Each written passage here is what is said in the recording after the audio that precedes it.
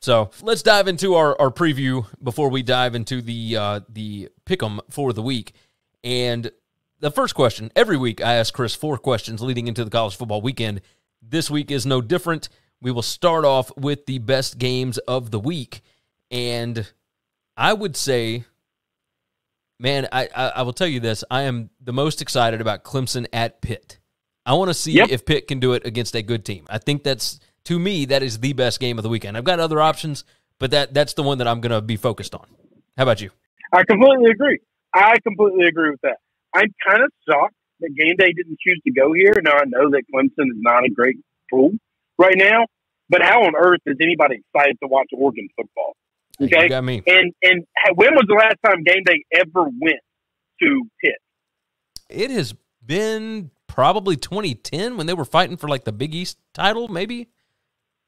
Like maybe that was it. That that's that's that's my argument. Is you know you, you got a chance to, to to go to one of the big boys. I know they're not good right now, but they still have one of the biggest fan bases in the country. And you know, anyway, but I think that's going to be an outstanding game. I think it has potential to be a really good football game. Uh, I guess uh, maybe maybe we can bring up you know Oregon UCLA. That's one of the ones that I had written down because I don't like. I- do think that they. I mean, they, they hadn't been to Los Angeles in a long time either, right? UCLA has not been relevant in a very very long time, Uh, so I don't know. I mean, I, I guess you just had to try and figure out which one am I going to get to uh, quicker. Like, if Pitt does win this game, you will probably be at Pitt at some point this season, I think. But this may be your only shot to get out to UCLA. And, you know, if that's the case, Yeah, but who cares if you don't go to UCLA all year? Why would that matter? They haven't been impressive in three weeks either. no, they really haven't. Like they've got one impressive win on the whole season against Yeah, and LSU, and that team's terrible. and they got two losses. So they So got why, so why does it matter State. if you don't go to UCLA? Hey, it really doesn't. Uh, part of me wonders if they would rather just be in Los Angeles as opposed to Pittsburgh in you know the middle I'm of sure, October. Gary. I'm certain if you listen, I would rather vacation in Los Angeles too over the weekend than be in Pittsburgh. They uh they have not been at a UCLA game at home since da, da, da, 1998. That was the last time they Is were there a reason they should have gone to a UCLA game in those 28 years or 25 years or what? 22 years, 23 years? Yeah, I'll, I'll Um, give them. Let's see. The last time they went to Pitt was da, da, 2005. Uh, Notre Dame played at Pitt on September 3rd, opening weekend. Notre Dame won that one. So, yeah, 2005. Yeah, this this was so it's been longer since they've been to UCLA, but I mean, good gracious, like what what are we doing? I don't, but I don't ever care about that. Like, yeah, Like once it's been 10 years since you've done something, it doesn't matter if it's been 10 years, 20 years, or 50 years. Like, it, like, all right, we should get there at some point in time, but we we go to Georgia three times a year, so who gives a fuck? Uh, yeah, you're you're not wrong. You are not wrong about that.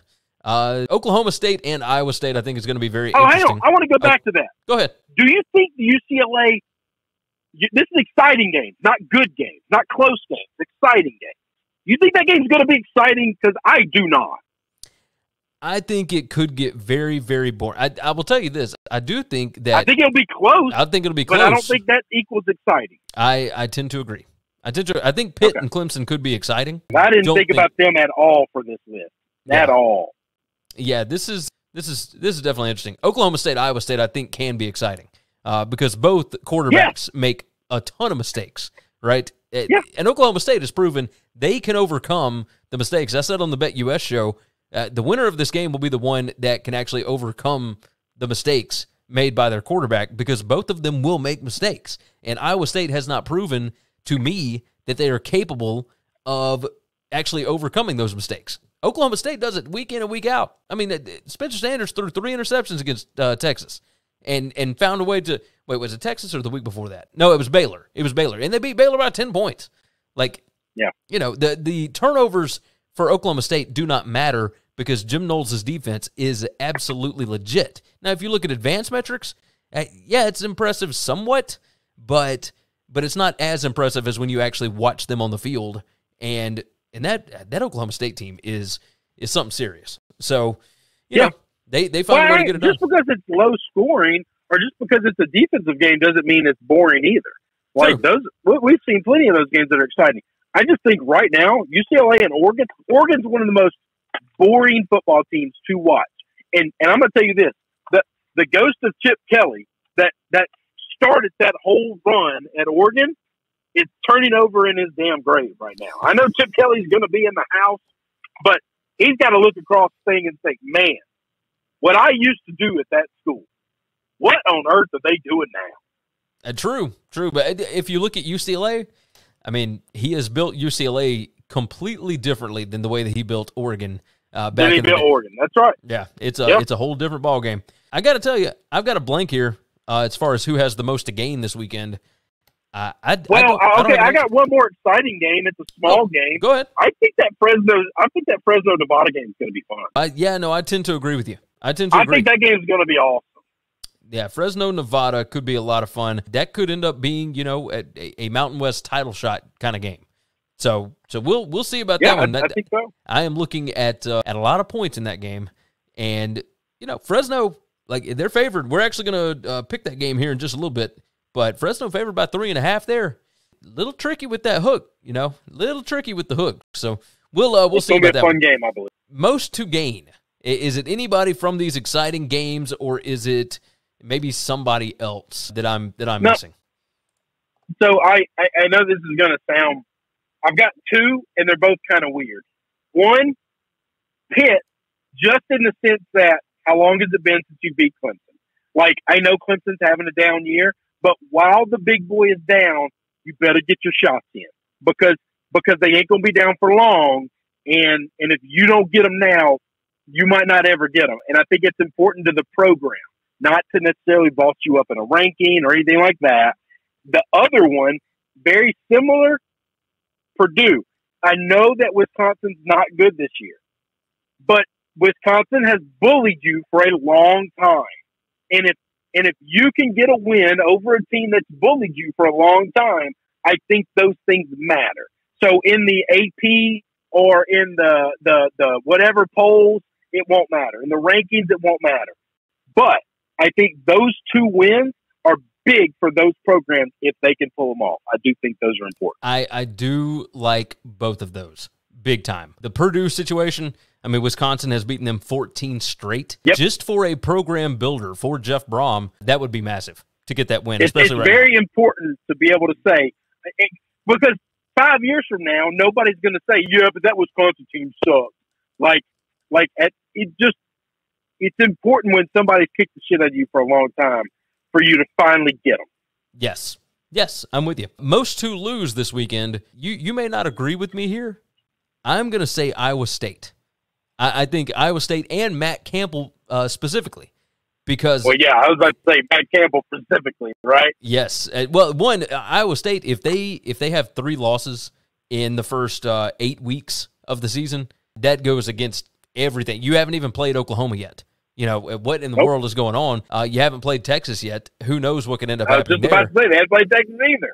Yeah, if you come out of the first eight weeks with three losses and you were expected to be a playoff contender, or at least uh, preseason polls projected to be a playoff contender, that ain't gonna that ain't gonna sell, or I guess sit correctly with uh, with the fan base. While while the fan base may still love you and everything, uh, people are gonna start asking questions like, okay, so is this it? Is this and and maybe they're totally fine with that but on a national perception as far as hype and getting bigger jobs, etc., it may not make that big of a difference because this could be just a Kentucky situation where the coach just stays there forever, right? Mark Stoops, totally right. content in And- and- Lexington.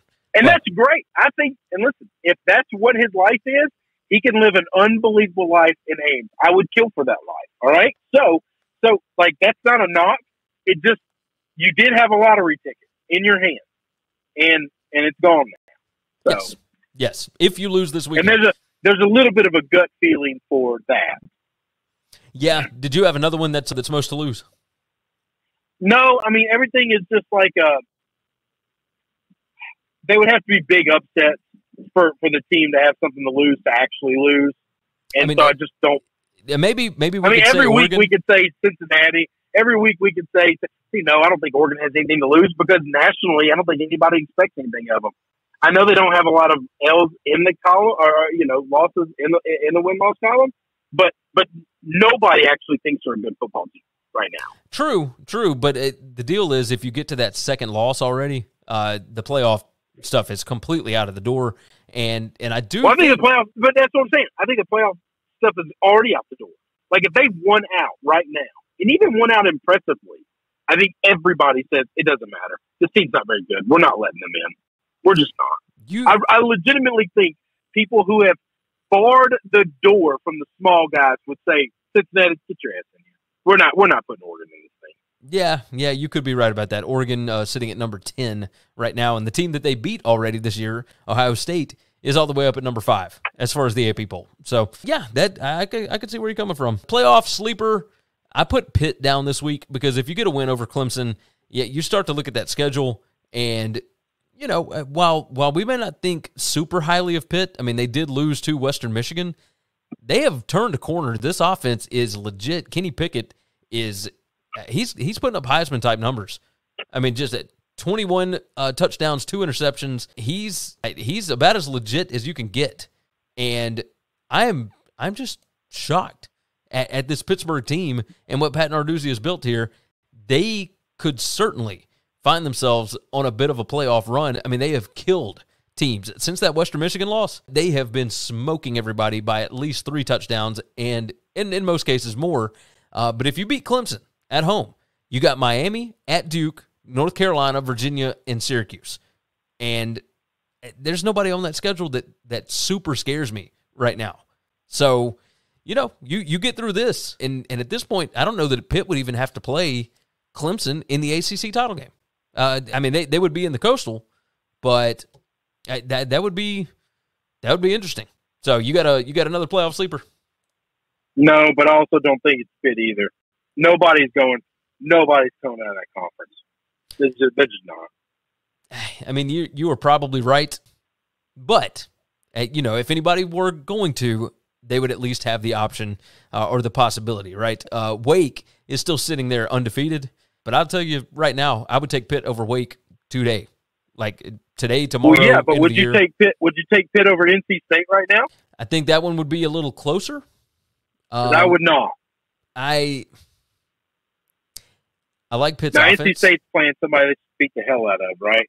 So that we're not having that conversation because that game doesn't matter. I think, if I remember correctly, now Uh, they might be playing a good team. Oh, they're playing Miami. Yeah, they're playing Miami, They're playing so- a team they should beat the hell out of. exactly. But that Yeah. line's only three and a half. Isn't that funny? It's it's weird. It's very If NC. State loses this game in Miami, I'm, Well, we're I'm just done with the. ACC. We're just done with the ACC at that point. So, ah, good gracious. Good gracious. Thanks for listening to the Winning Cures Everything podcast. The website is winningcureseverything.com. And if you want to connect with us, we're on Twitter at GaryWCE, at Chris B. Giannini, at Winning Cures, or you can email us, Gary at winningcureseverything.com or Chris at winningcureseverything.com. Subscribe everywhere you need to subscribe, and we'll see you soon.